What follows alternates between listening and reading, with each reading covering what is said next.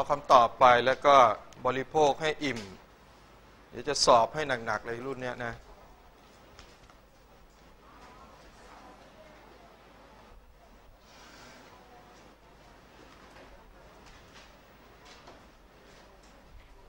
ปรากฏการณ์ในลูกบอลพลาสมาเนี่ยนะครับ ก็เป็นปรากฏการณ์ที่ปัจจุบันเนี่ยเขาเรียกว่าเป็นภาวะเป็นสถานะหนึ่งของสารด้วยซ้ำไป เดิมนักเรียนรู้จักว่าสารมีกี่สถานะสามมีของแข็ง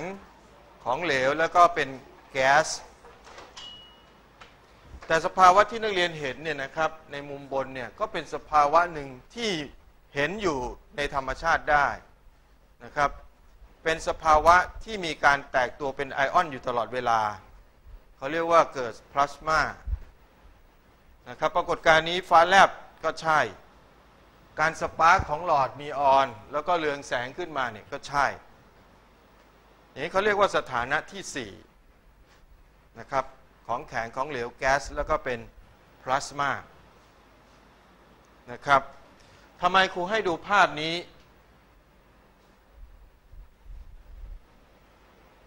ปรากฏการณ์นี้เนี่ยเป็นปรากฏการณ์ที่มีนักวิทยาศาสตร์ สังเกต มันก็ต้องเกิดจากสารนี่แหละ เป็นตัวเกิด ตัวทำให้เกิดนะครับ เพราะเนี่ยความหมายก็คือในทรงกลมกลวงเนี่ยนะครับ มันจะมีจะเป็นลูกบอลแล้วก็จะมีขั้วไฟฟ้าอยู่ด้านในเห็นไหมครับ ที่เป็นลูกกลมๆแล้วก็มีต่อสายจากด้านนอกเข้าไปนะครับ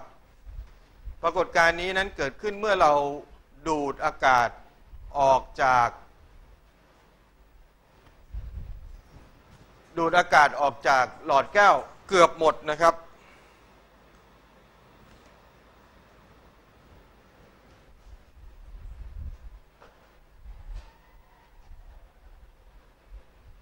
จนให้เหลือความดันต่ำๆจากนั้นปล่อยกระแสไฟฟ้านะครับ ที่มีศักย์ไฟฟ้าสูงๆ หรือมีความต่างศักย์มาก ๆ เป็นหมื่นหมื่นโวลต์นะครับ สอนครับสอน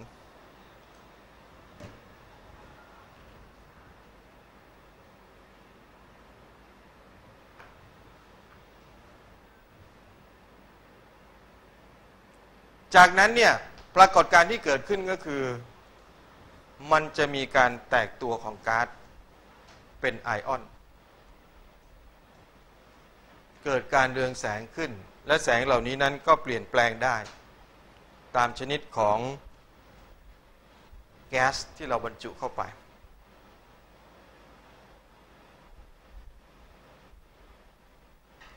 อันนี้เป็นของเล่นที่มีอยู่ตามท้องตลาดทั่วไปนะครับจำเดิมเนี่ยมีนักวิทยาศาสตร์ ชื่อว่าวิลเลียมครุปเป็นผู้ประดิษฐ์ หรือเป็นผู้สามารถทำให้อากาศนำไฟฟ้าได้ ตามปกติแล้วอากาศนำไฟฟ้าไหมครับ อากาศนำไฟฟ้าไหมอากาศนำไฟฟ้าไหมไม่นำนะครับ ถ้านำไฟฟ้าใครอยู่ปลั๊กไฟใกล้ปลั๊กไฟก็เสร็จแล้วใช่ไหมครับ เพราะเนี่ยก็มีความพยายามที่จะประดิษฐ์ หลอดที่เขาเรียกว่าหลอดรังสีแคโทดนะครับ ไปดูภาพในสมัยก่อนๆหลอดรังสีแคโทดก็จะเป็นอย่างนี้นะครับ ก็คือเป็นเครื่องแก้วนี่แหละ ที่เขาเป่าเป่าไปตามรูปทรง แล้วก็ดูดเอาอากาศออกจนเกือบหมดมันข้างในจะมีความดันอากาศต่ำมาก ๆ จากนั้นก็ทำขั้วไฟฟ้ามีขั้วบวกขั้วลบนะครับ จะเห็นว่ามันจะมี รงนี้นะครับมันจะเป็นขั้วไฟฟ้าเข้าไปนะครับ พวกนี้จะเป็นสนามไฟฟ้าเวลาทดสอบที่ต่างกันออกไปนะครับ เหล่านี้ล้วนแล้วแต่เป็นหลอดรังสีแคโทดนะครับ หลักการคือเป็นหลอดยังไงก็ได้นะครับ ที่สามารถต่อขั้วไฟฟ้าเข้าไปนะครับ แล้วก็เป็นท่อมีฉากเรืองแสงนะครับ เคลือบภายในเพื่อสังเกตแสงที่เกิดขึ้นนะครับ อาจจะมีการทดสอบทดลองต่างๆ ซึ่งประเด็นเนี้ยนะครับ ทอมสันได้หยิบมาทำการศึกษาในเรื่องของการค้นหาอนุภาคที่อยู่ภายในอะตอมนะครับ องค์ประกอบในรายละเอียดนะครับถ้าเราเขียนเป็นกราฟิกง่ายๆ ก็คือว่า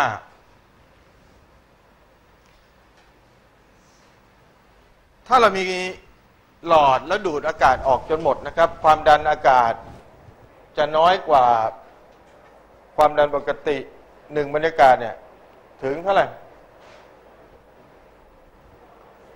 สิบยกกำลังลบสองถึงสิบยกกำลังสาม ATM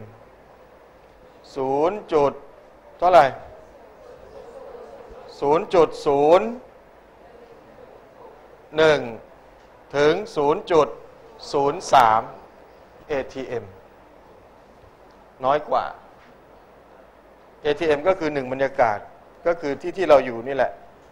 นะครับ จากนั้นต่อสักเครื่องกำเนิดไฟฟ้าสักสูงๆนะครับ ที่สามารถบอกขั้วบวกขั้วลบได้ขั้วลบเขาเรียกขั้วแคโทดนะครับขั้วบวกเรียกว่าแอนโอดแคโทดแอนโอดแอนแอนก็บวกนะครับนะนี่ก็คือลักษณะแบบจำลองลักษณะของหลอดรังสีแคโทด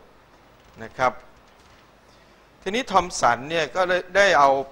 ปรากฏการณ์นี้เนี่ยนะครับมาใช้ในการทดลองแต่ก่อนอื่นเนี่ยนะครับ ตอนที่วิลเลียมคุกทำการศึกษาเนี่ยนะครับมันเกิดปรากฏการณ์อย่างนี้นะครับ เมื่อเปิดสวิตช์ไฟฟ้าเข้าไปในหลอดรังสีแคโทดนี่มันจะเกิดการเรืองแสงเกิดขึ้นภายในหลอดนะครับถ้าเรามีฉากกั้นซ้ายกับขวาเนี่ยจะมีการเรืองแสงตรงตำแหน่งที่เห็นภาพ